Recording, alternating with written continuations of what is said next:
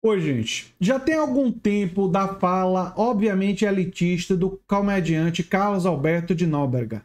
Mas tem alguns aspectos dessa fala que eu não tenho visto tantas pessoas analisarem. Eu tenho visto que tá, tem muita coisa faltando criticar, inclusive faltou criticar a resposta que a Vera Magalhães deu a ele, que também é criticável, não é? Então, por ter aspectos que eu entendo que não foram abordados, eu resolvi, nesse vídeo, abordar essa questão, né?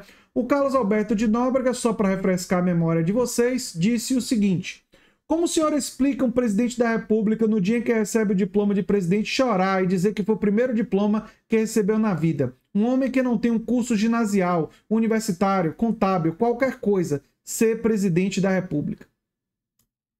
E como uma pessoa que dedicou a vida à área acadêmica, que tem um, é, é, graduação, mestrado e doutorado, eu digo, a gente tem que valorizar a experiência acadêmica, mas não valorizar apenas essa experiência. E Lula tem uma experiência que não é só a experiência da vida, como você vai dizer depois, Carlos Alberto de Nobre. Mas ele tem a experiência da luta sindical, a experiência de trabalhador, uma experiência que você não valoriza. Lula, muito antes de ser político, foi líder sindical que lutava pelos direitos dos trabalhadores, uma coisa que o qualifica enormemente para a presidência da República, porque conecta ele com a luta da maioria da população brasileira. Mas enfim, vamos. É, a, a, a âncora, a apresentadora Vera Magalhães, rebateu, não rebateu bem, dizendo que o voto é livre ao que Carlos Alberto trocou. É por isso que o país está desse jeito.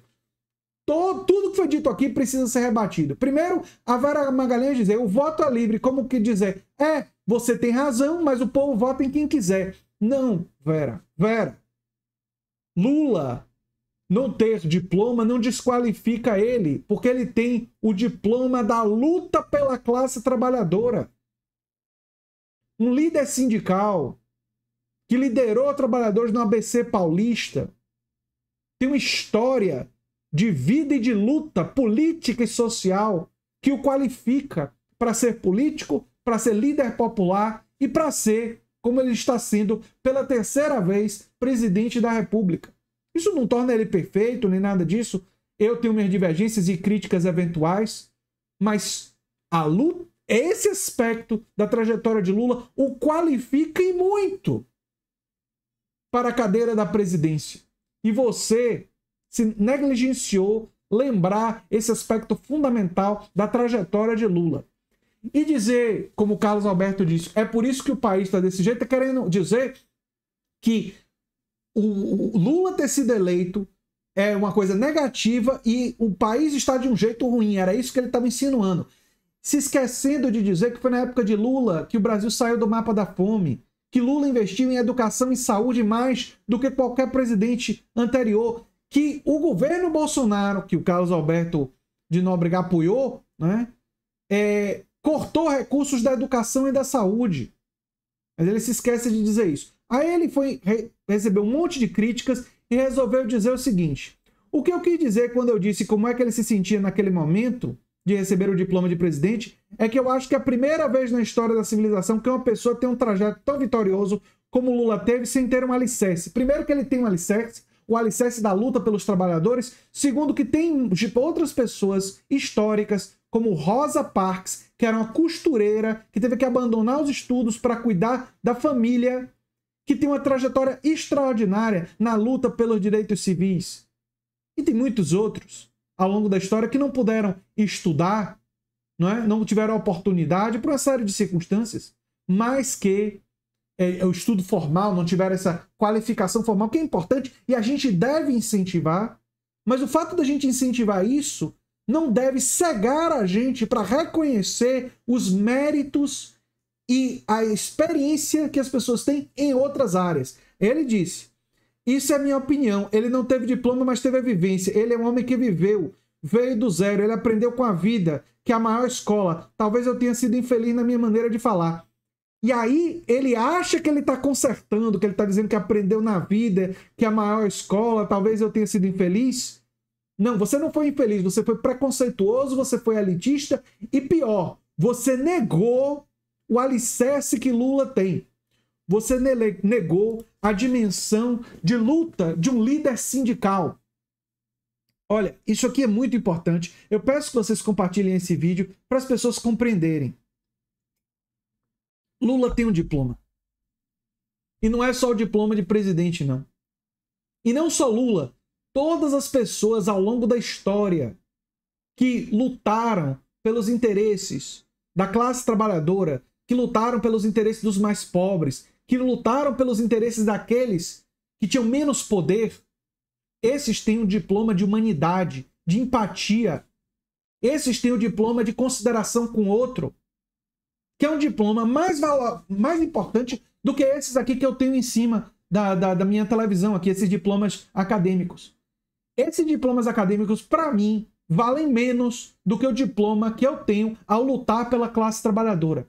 Eles são importantes, no sentido de que a gente deve valorizar o investimento em ciência, em um investimento em educação. E por isso que eu exibo eles, porque eu acredito que eles falam sobre um determinado tipo de coisa. Mas eles são menos importantes do que o fato de eu lutar, a direção pelo que eu luto.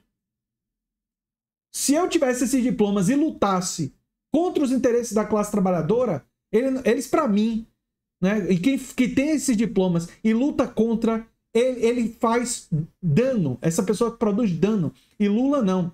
Lula lutou desde o início de sua trajetória pelos direitos da classe trabalhadora, como líder sindical. E esse elemento da história de Lula não pode ser esquecido, o ABC paulista. O alicerce da trajetória política de Lula, de onde ele veio. Não é porque ele veio apenas da classe trabalhadora, mas porque ele pegou a sua história de vida e a sua experiência e converteu em luta pela classe trabalhadora, para o benefício da classe trabalhadora, para benefício dos mais pobres. E quando virou presidente, o primeiro programa que ele apresentou, me lembro, Fome Zero. E se tornou uma obsessão do governo Lula programas sociais que reduzissem a fome, que reduzissem a pobreza. E antes dele, essa consideração, essa empatia, essa humanidade para com os mais pobres era predominantemente ausente da política brasileira. Então, Lula, com suas qualidades, seus defeitos e tal, tem esse grande mérito. Tem esse grande mérito.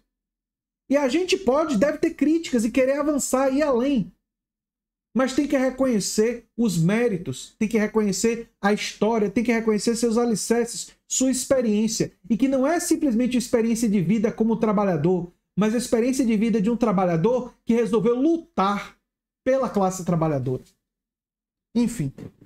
E esse elitismo do Carlos Alberto de Nóbrega realmente me incomodou. E a, a fala da Vera Magalhães também me incomodou. O voto é livre. Não sei o que, é vocês pensam sobre isso, mas gostaria de ouvir nos comentários e pediria a vocês que divulgassem para a gente rebater esse tipo de discurso. Eu sou André Teixeira Jacobina, o canal é a Nova Máquina do Tempo, e a gente se vê em breve em outro vídeo. E se você gosta do que a gente faz, se inscreve, dá um like, compartilha, quem sabe vira membro, liga o sininho né, de notificações e quem sabe faz um dos nossos cursos. Um abração e até o próximo vídeo. Tchau, tchau.